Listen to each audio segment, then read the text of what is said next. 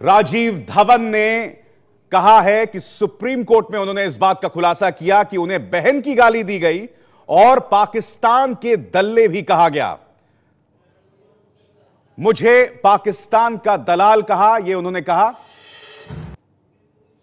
और यही नहीं भूले हम, क्योंकि सुप्रीम कोर्ट की टीम का हिस्सा बनकर गए थे वो, और उन्हें बहन की गाली दी गई और पाकिस्तान का दलाल करार दिया गया। हम सीधे रुक करना चाहेंगे। निपुण सहगल का निपुण। क्या ये गाली उन्हें, उन्हीं लॉयर्स ने दी?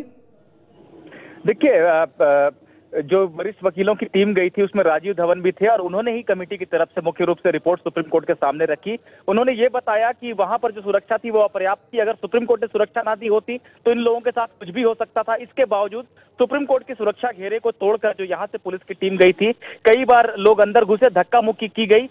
दूर दूर से जो है इन लोगों को एब्यूजिव वर्ड्स गालियाँ दी जा रही थी चिल्लाया जा रहा था। लेकिन जो पास से कुछ वकीलों ने जो बातें कही हम्म। उसका हवाला भी दिया उन्होंने और ये बताया कि पाकिस्तान के दल्ले कहा जा रहा था हमको। और जो बहन से जुड़ी एक आपत्तिजनक गाली का भी उन्होंने ज़िक्र किया कि ये सब बातें भी वहाँ पर बोली गई। सुप्रीम हम्म। कोर्ट ने पूरे मामले को बहुत गंभीरता से सुना और घटनाक्रम पे और विस्तृत रिपोर्ट मांगी है कि निपुण क्या क्या राजीव धवन ने जो कि सुप्रीम कोर्ट की टीम का हिस्सा थे क्या कोर्ट के सामने जब ये बात रखी तो क्या वाकई उन शब्दों का इस्तेमाल किया उन्होंने? कोर्ट के सामने कि ये सब शब्द मेरे लिए कहे गए?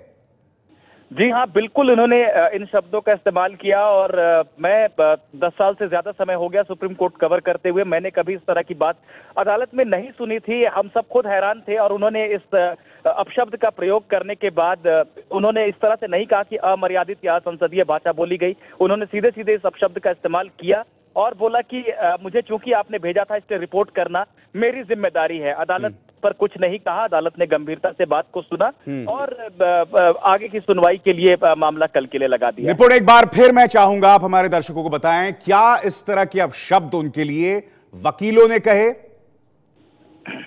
देखिए राजीव धवन ने ये कहा है सुप्रीम कोर्ट में कि जब वो पुलिस की सुरक्षा जो कि सुप्रीम कोर्ट की तरफ़ से दी गई थी वरिष्ठ वकीलों की टीम को उसके साथ जब अंदर घुसे तो कई बार वो सुरक्षा घेरा भी टूटा और उन लोगों के साथ हल्की फुल्की धक्का मुक्की हुई। इस दौरान दूर दूर से जो वकीलों की भीड़ थी उससे तमाम जो है हल्ला गुल्ला और गाली की आवाज़ आ रही थी जो पास से कुछ वकीलों की जो उन्होंने बातें सुनी उसमें उन्होंने पाकिस्तान का दल्ला जैसी जो वो बातें कह रहे थे। हम्म। और इसके अलावा बहन से जुड़ी एक बेहद अश्लील और आपत्तिजनक गाली दी गई। इस बात का उन्होंने हवाला दिया कि ये वकील थे जो पास से जो दी गई जो गालियाँ थी जो उनको कानों में स्पष्ट सुनाई दी उसका उन्होंने हवाला दिया। और सुप्रीम कोर्ट ने इसका क्या संज्ञान लिया? उनकी क्या टिप्पणी थी इस पे? देखिए सुप्रीम कोर्ट ने इस बात को इस बात को बहुत ज़्यादा टूल नहीं दिया कि वहाँ पर गालियाँ दी गई हैं या इस तरह के का के शब्द का जो राजीव धवन ने सीधे सीधे इस्तेमाल किया अदालत के अंदर। लेकिन पूरी घटना को गंभीरता से लिया है और सुप्रीम कोर्ट ने तुरंत ये रिपोर्ट जब आई क्योंकि इस रिपोर्ट में यह भी बताया गया कि कन्हैया की पिटाई हुई है वहाँ पर। कोर्ट रूम के अंदर जब सुप्रीम कोर्ट ने कहा था कि सिर्फ़ ज़रूरी लोग जाएँगे कोर्ट रूम में इसके बावजूद इस तरह की रिपोर्ट है कि कोई काले चश्मे वाला गॉगल्स लगाया हुआ व्यक्ति कोर्ट के अंदर दाखिल हुआ, उसने कन्हैया को हल्का धक्का दिया और फिर बाहर चला गया। पुलिस ने उसे रोका नहीं तो इस सारी बातों को सुप्रीम कोर्ट ने गंभीरता से सुना और दिल्ली पुलिस कमिश्नर की व्यक्तिगत रूप से ज़िम्मेदारी तय की कहा कि व्यक्तिगत रूप से वो ज़िम्मेदारी ले वरना हमें आदेश पारित करना पड़ेगा जिसके बाद दिल्ली पुलिस के वकील ने बताया कि कमिश्नर से ज़िम्मेदारी लेने को तैयार हैं।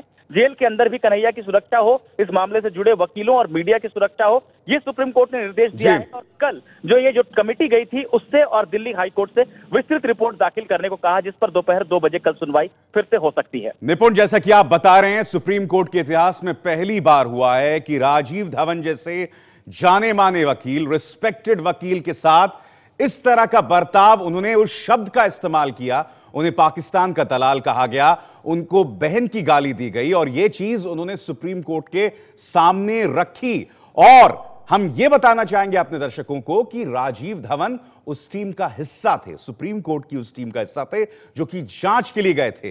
तो जो वकीलों ने अपशब्दों का इस्तेमाल कर रहे थे आ, उन्हें इस बात का बिल्कुल भी ख्याल नहीं था कि यह सुप्रीम कोर्ट की टीम थी।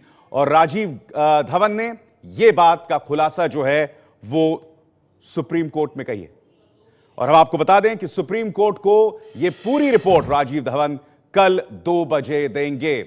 तब तक इस मुद्दे पर राजीव धवन कोई और बयान नहीं देने वाले हैं, मगर विस्तृत जो है बयान, वो कल दो बजे देंगे। तो नेहा, जैसे कि आप देख सकते हैं कि संवाद अपने आप में कितना ज़्यादा जैसे कहते हैं विवादास्पद हो गया है कितना ज़्यादा गंधला हो गया है जिसका नतीजा हमारे सामने है। बिल्कुल और जैसा आप बता रहे हैं अभिसार राजीव धवन जो कि छह वरिष्ठ वकीलों की टीम का हिस्सा है आज जाकर उन्होंने पटियाला हाउस कोर्ट का जायजा लिया और कल पूरी रिपोर्ट सुप्रीम कोर्ट के सामने दोपहर दो बजे रखी जाएगी।